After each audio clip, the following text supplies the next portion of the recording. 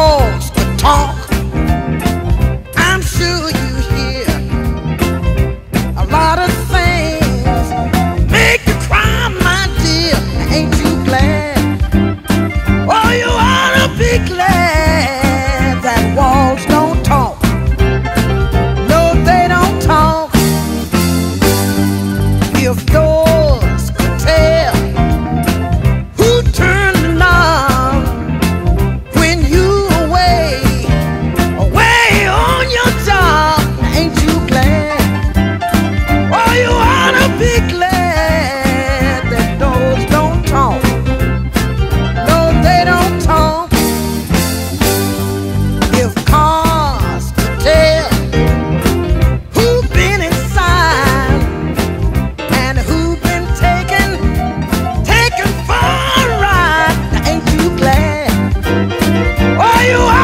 declare.